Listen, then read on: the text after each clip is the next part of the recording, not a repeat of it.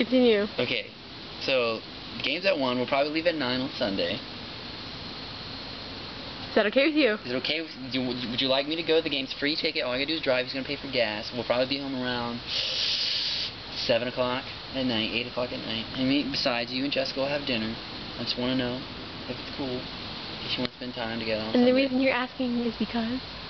Because I care. I don't drink this Because beer. you're not like who?